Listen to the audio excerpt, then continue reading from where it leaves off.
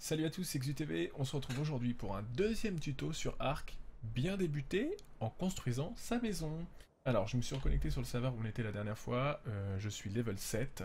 Je me suis crafté euh, les outils euh, de base et un petit peu de vêtements parce qu'on est dans la période, comme vous pouvez le voir, hivernale sur les serveurs. hein. donc pour, l'hiver, ils, ont mis des arbres enneigé, sous la neige, pareil pour tout ce qui est plantes, etc. Donc on sky les miches dans le jeu, et du coup la priorité, c'est de faire des vêtements.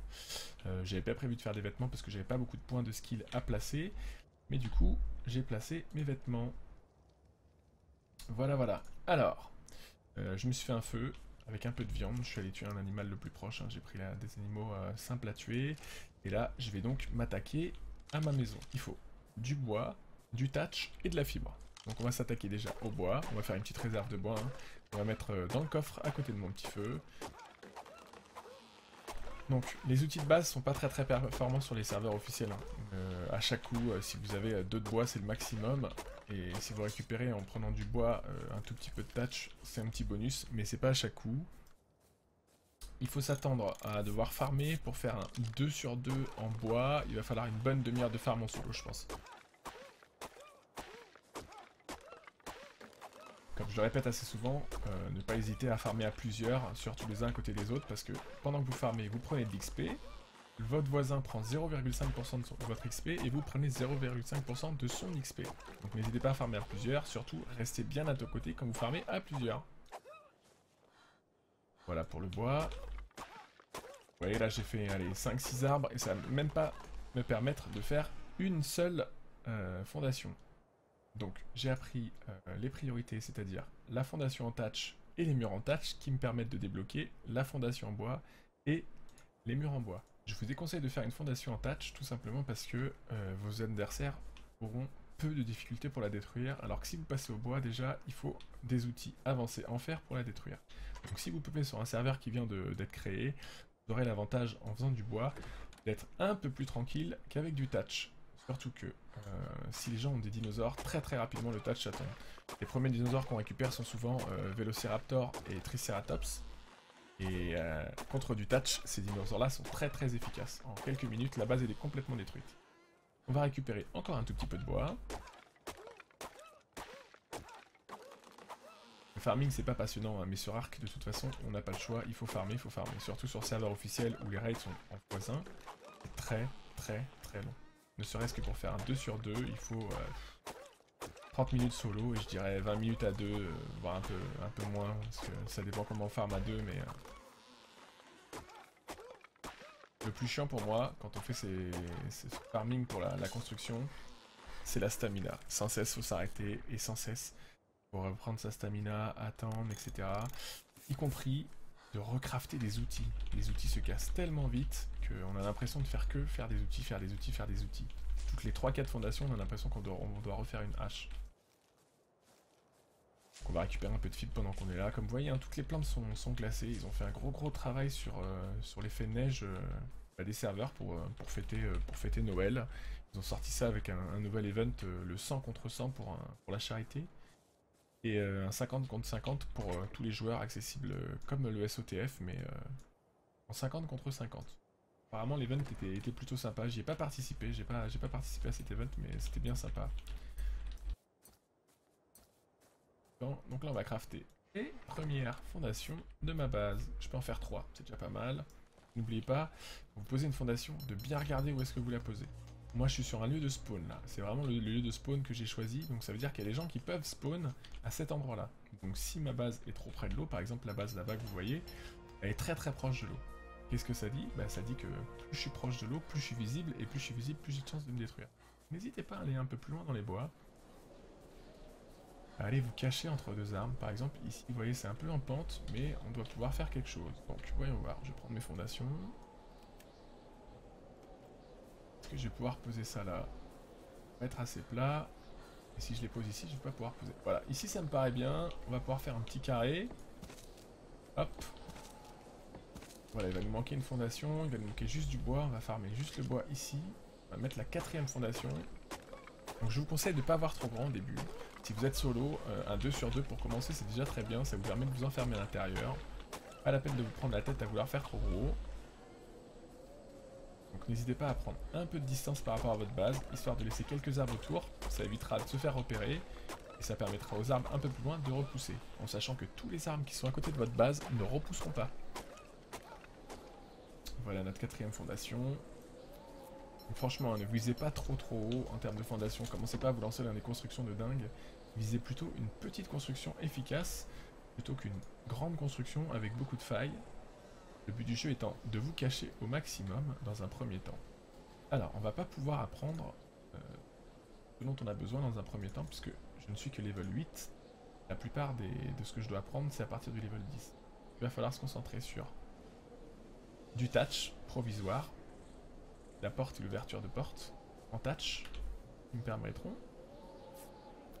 de fermer ma maison. Je pourrais pas la faire en bois au début.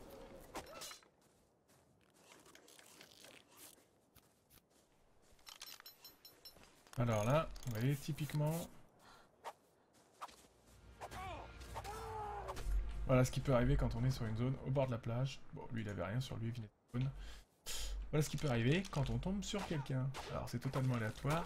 Moi, il me prendra pas ma viande, le petit Il a éteint mon feu et il a compté me voler ma viande. Oh non. Toujours pas trop s'éloigner de son feu, ça évite de se faire voler. Et il est là, là, je sais pas si c'est lui. Dans le tout, on va aller voir.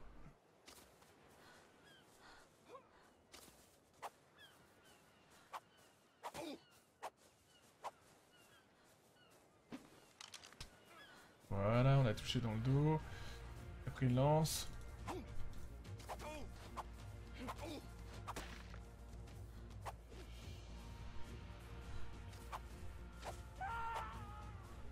J'ai récupéré ma lance. Alors. Me revoilà mon feu de camp. Euh, il n'est pas le mien d'ailleurs, je l'ai emprunté. N'hésitez pas à emprunter le feu de camp de quelqu'un, ça vous fera toujours gagner quelques ressources. Je viens de détruire mon coffre. Euh, Qu'est-ce qu'il y a dedans? Du charbon, on va toujours le prendre.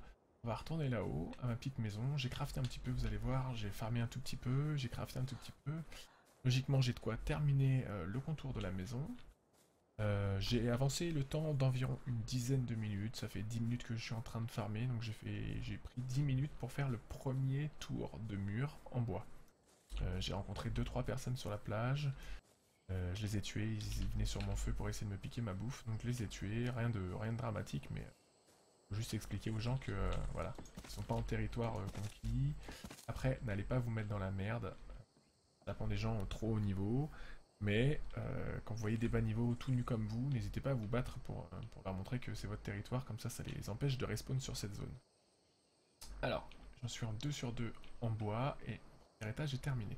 On va aller chercher un deuxième étage de mur, tout simplement pour avoir plus de hauteur dans la maison et pouvoir mettre des grandes armoires. Pourquoi? Parce que il y a deux sortes de box. Les petites box ici, prennent un de hauteur, et ensuite vous allez voir, il y aura les larges box, encore, le 15 ici, voilà, level 15 sont beaucoup plus grandes en hauteur, mais qui peuvent contenir aussi beaucoup plus d'objets.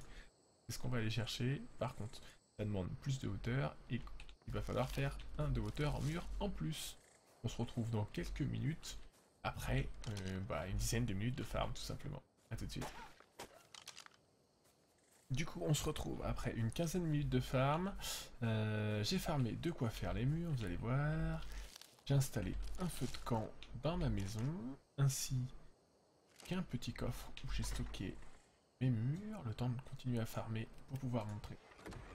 Hop, alors, on va essayer de terminer ça. Voilà, donc rien de plus compliqué, hein.